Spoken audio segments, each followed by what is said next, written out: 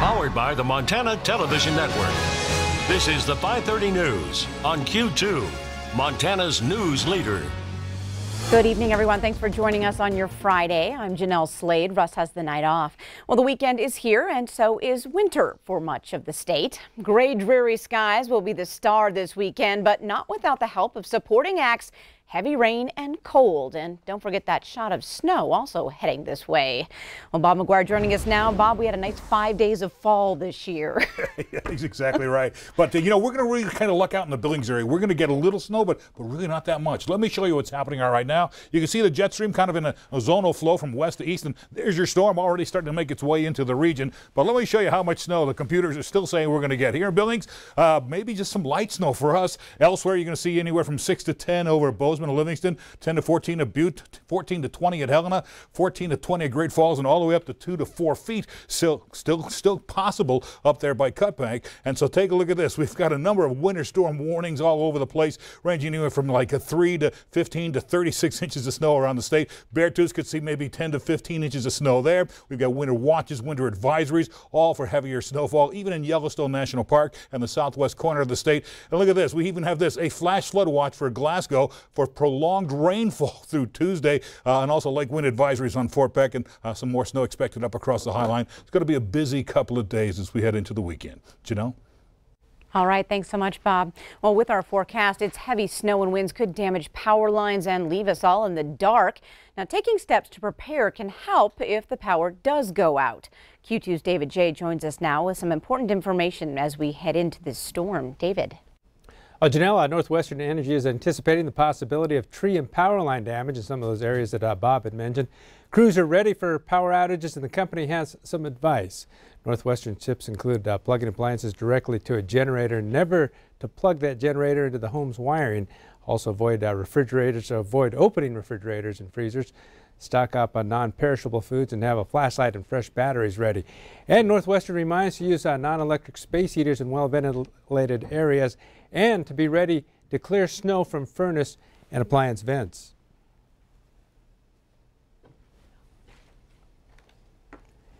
And uh, Jody Black from uh, Northwestern also suggests signing up for text message updates or using the company's online power outage map. And more safety tips from Northwestern Energy are on our online story at ktvq.com. Jeanelle? All right, thanks, David.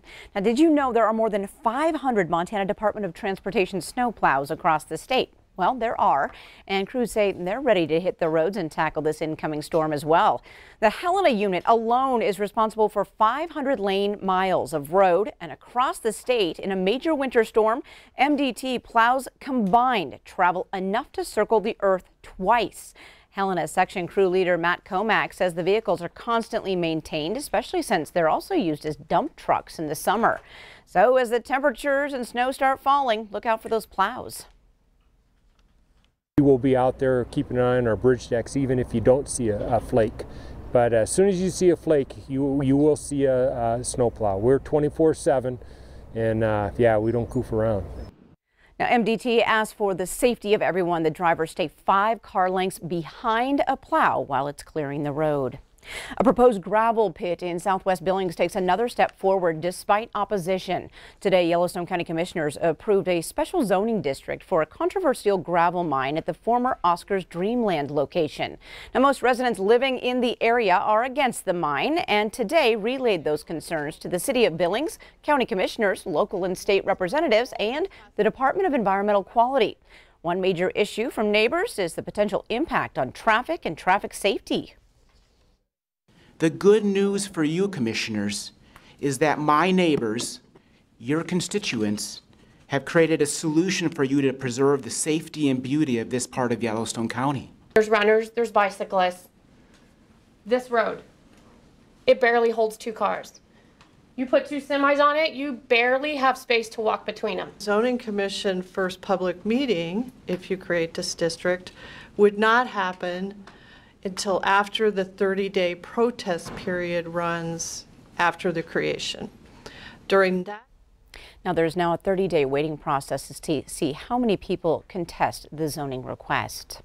Well, new information tonight about Tuesday's grizzly bear attack in the Gravelly Mountains south of Ennis. The hunter from Ohio tells authorities after the bear attacked him in the Coal Creek area, he fired multiple shots at the bear until it left. The hunter then met up with other members of his party and was taken to Sheridan for treatment. Now, Fish, Wildlife and Parks officials examined that site and found evidence the bear had been wounded, but so far have not located the bear.